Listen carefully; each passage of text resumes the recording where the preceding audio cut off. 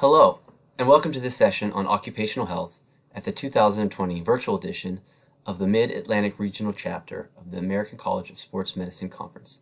The title of our session is If Sitting is the New Smoking, Can Sit-Stand Desks Be the Nicorette Fix? My name is Peter Hosick, and I'm an Associate Professor at Montclair State University in Montclair, New Jersey. I'm the first speaker in this session, and my talk will focus on what is known about ergonomic and cardiometabolic effects of prolonged occupational standing. Our next speaker is Dr. Bethany Barone Gibbs from the University of Pittsburgh to talk about similar effects of prolonged sitting. And finally, also from the University of Pittsburgh, we have Dr. April Chambers to discuss sit-stand desks and what is currently known about the effects they can have on health and wellness. I hope you enjoy. As I said, my name is Peter Hosick, and I'm an associate professor at Montclair State University in the Department of Exercise Science and Physical Education. If you are not familiar with Montclair State, we are located in the northeast corner of New Jersey, approximately 12 miles west of New York City. We have a beautiful campus that includes lovely skyline views of New York City. The focus of my talk today is to discuss ergonomic and cardiometabolic effects of prolonged occupational standing in this talk entitled Don't Stand All Day at Work. Over the next 15 minutes or so, I will hopefully convince you that standing is probably not the best practice if your goal is to combat sitting. My objectives today are to first, get you all to consider the implications of saying sitting is the new smoking, and the prevailing view that standing may be better. Second, I hope I am able to adequately demonstrate that there are some problems associated with prolonged standing and discuss what some of those are. And finally, I will discuss the effects that standing has on energy expenditure compared to sitting, and whether prolonged standing is likely to be effective in weight loss efforts. So, as I said, let's first consider the statement, sitting is the new smoking. Now, I'm not exactly sure when this statement came about or where it came from, but let's do a side-by-side -side comparison of the major clinical outcomes or effects of each. On the left is a short list of chronic conditions highly associated with smoking. On the right is another list of issues associated with prolonged sitting. It shouldn't take long to see some differences. First, the smoking list is much longer. It's also not complete. And the second, while there is some overlap in the two lists, condi the conditions under smoking are generally much more severe than those in the sitting list. Now, I don't want to minimize the effects that prolonged sitting can have. And if you're interested in learning more about those, I urge you to check out the next presentation given by Dr. Barone Gibbs, and she will focus on exactly that. But I mentioned the effects that sitting can have as a starting off point for us in this talk because I believe it creates the notion that as long as you're not sitting, you're fine and everything is okay. Sitting has appropriately been made a culprit for some of the chronic lifestyle diseases prevalent today. And I believe that has been ingrained in our society by statements like, sitting is the new smoking. But even when you look at the recommendations made by the CDC's Physical Activity Guidelines for Americans from 2018, one of the recommendations states that adults should move more and sit less. Don't get me wrong, I believe this is great advice. But while putting this into practice, I believe the average American sees sit less. Okay, I'll stand. And by doing so, the belief is that they are taking care of the issue. This presents two big problems. One, it ignores half the recommendations, that is, move more. And two, standing does not equal sitting less, as I hope to convince you over the next couple of minutes. When you think about occupational standing, you probably think of one of these two scenarios. At least I did before thinking a little more about it. We have the popular standing desks that the gentleman on the left is standing at. Of course, it doesn't have to be this fancy version, but nonetheless some sort of standing desk. Or you may think about the old-time assembly line production of manufacturing demonstrated in this World War II era photo of women making radios. However, there are still many jobs that require a lot of occupational standing in today's society. We have grocery store workers, there are still many assembly line workers, and even things like bank tellers or hotel desk attendants. The point is that there are a lot of people that are required to or have the option to stand for long periods of time while working. The question is, what effect does all this standing have on our bodies? What we're looking at here is a flowchart that identifies prolonged standing with the progression of several biological pathways.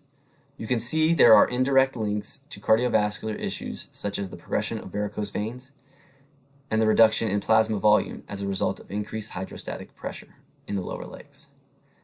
These can influence factors which then have a more direct effect to increase atherosclerosis or heart disease. Of course, this all happens while also experiencing discomfort, particularly in the lower back. And the other thing I want to point out to you is that many of these factors ultimately culminate in an increased physical inactivity, which only serves to further perpetuate the progression of atherosclerosis and heart disease, as well as low back pain. Now let's take a look at some of the data to support these claims. First, let's look at low back pain. This is a major issue as low back pain is one of the top reasons people see their primary care physicians. On the right, you can see one example of several that show co-activation of the glute medius muscle is increased in those who experience low back pain. Further, on the right, you see that those with low back pain also tend to have less hip abduction strength, suggesting that if you strengthen the hip abductors, you can alleviate some of the low back pain associated with prolonged standing. Like low back pain, fatigue and discomfort are also major issues associated with prolonged standing. Here we see the results of two different studies that were investigating general fatigue and discomfort associated with standing. In the tables on the left, you see a perceived discomfort and pain scale on the top. Note that the lower the score, the greater the discomfort, and on the bottom, the perceived discomfort and pain results from both active and passive standing work. In each scenario, subjects were asked to complete a screwdriver-driven task that lasted about 60 minutes. In the active standing condition, the task was conducted at several different workstations that required subjects to occasionally walk from station to station. In the passing standing condition, subjects did the entire screwdriver task at a single station. You can see across the board, the passive standing had lower scores compared to active standing, indicating greater pain and discomfort when subjects were in the passive standing condition. But even the active standing had an overall pain and discomfort score of 7.9, indicating noticeable discomfort. The graph on the right shows results from Antle and colleagues in which 10 young women unaccustomed to occupational standing stood at a desk for 32 minutes. In the graph, you see the discomfort became significantly elevated in the feet and knees after only 12 minutes of standing. Collectively, we see that standing, regardless of whether movement is involved, leads to some level of discomfort in a relatively short period of time. Now let's venture into some data on varicose veins. This table from work conducted by Tüchsen and colleagues published in 2005. They were looking to assess the relative risk of hospitalizations due to varicose veins in the lower extremities of people that worked in an upright position at least 75% of the time. In other words, they were asking how much more likely are people that stand a lot to be hospitalized for varicose veins compared to those that don't stand that much. What this table is showing is the relative risk of being hospitalized for varicose veins based upon a number of different work, physical, and lifestyle characteristics separated out with data for men on the top and women on the bottom. This table indicates that of all the factors that these researchers explored, working in a standing or walking position had the highest relative risk for hospitalization due to varicose veins in both men and women. Researchers are able to conclude that prolonged standing at work constitutes an excessive risk for hospital treatment due to varicose veins, and standing accounts for more than one-fifth of all varicose vein cases in working age individuals. They recommend that standing or walking at work should be limited and that people should alternate with other positions such as sitting. This graph, also from work done by Antle and colleagues, shows that data support the mechanism behind the development of varicose veins when standing. Again, they had 10 college-age females not accustomed to prolonged occupational standing stand for 32 minutes while collecting data on lower limb blood flow, amongst other things. As you can see, blood flow, assessed by laser Doppler flowmetry, shows that blood flow to the feet and soleus muscles were increased significantly after 24 minutes of standing. The increase in blood flow may contribute to the increase in vascular stress and development of varicose veins. Cardiovascular problems are also a concern that may arise as a result of prolonged standing. Here is some data from acute studies that measured cardiovascular response to standing. The two graphs on the lower left are data out of our lab at Montclair State that compared the change in diastolic blood pressure from quiet rest to 15 minutes of seated versus standing computer work. You can see that both the change in diastolic blood pressure and rate pressure product, a marker of cardiovascular or cardiac work or stress, was greater in the standing condition. Further, the graph from Antle et al. shows mean arterial pressure becomes significantly elevated after only 8 minutes of standing work. Both of these studies were conducted on healthy, college-age adults with no reported cardiovascular issues and support greater cardiovascular stress in response to acute standing. Prolonged standing can also have chronic effects on the cardiovascular system, as demonstrated here. On the left is a graph showing the average four-year change in carotid intima media thickness for individuals from several different levels of occupational standing. Carotid intima media thickness is a measure of the thickness of the inner two layers of the carotid artery, the intima and the media. It is used to diagnose risk for vascular disease. In this figure from Krause et al., you can see a strong dose-dependent increase in carotid intima media thickness as the level of standing progresses from none to a little to quite a lot and finally very much. This suggests that the longer a person stands at work, the greater the potential for cardiovascular disease. On the right, we see that heart disease incidence or frequency over a 12-year period is more than two times greater in people whose primary working posture is standing compared to those who primarily sit. Again, further suggesting a chronic association of cardiovascular disease risk with prolonged occupational standing. So let's review what we've covered to this point. We have seen that, and hopefully I've been able to convince you that prolonged occupational standing is associated with discomfort in the low back and extremities, an increased incidence of varicose veins, and increased risk for the development of cardiovascular problems. But if you remember back to the objectives of this talk, I am also going to discuss the effect that standing, compared to sitting, can have to support weight loss efforts, which for many, especially those with weight-related problems, may be the main reason for standing in the first place. Let's see what the data says. Here we have several studies that each analyze energy expenditure, metabolic rate, or oxygen consumption while sitting compared to standing. On the top left, Smith et al. determined that energy expenditure was elevated while standing compared to sitting in obese adults, but not in the normal weight counterparts. On the top right, you can see a study completed by Zai and colleagues that studied normal weight college-age adults.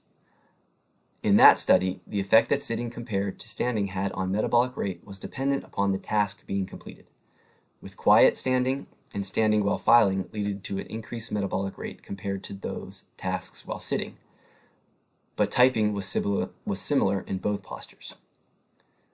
Compare that to the results of a study completed in our lab at Montclair State, showing oxygen consumption was elevated following standing computer work compared to the same activity while sitting. In the graph on the lower right, you see the results of a study completed by fellow speaker Dr. Barone Gibbs, in which they studied subjects while sitting, transitioning between sitting and standing, and standing alone over three separate 60-minute trials. Their results show a stepwise increase between the three conditions, with standing having the highest caloric expenditure. Collectively, these studies show that there may be some influence of weight or activity on the effect that standing can have on energy expenditure compared to sitting. But despite the significant differences shown here, they are still relatively small in the overall energy expenditure. So the question now is, are these differences enough to have a supportive role to counteract weight gain to further support weight loss in people who are looking for standing to do that? Here we have a study published last year by Betts et al. that was specifically designed to determine the difference in energy cost between sitting and standing. To do this, they carefully monitored metabolic cost of several activities under basal conditions from 46 men and women whose BMI would classify them as either normal or overweight. What they determined was that the change in sitting to standing seen in purple on the right of the graph was on average about 0.65 kilojoules per minute, which equates to about 9 kilocalories per hour.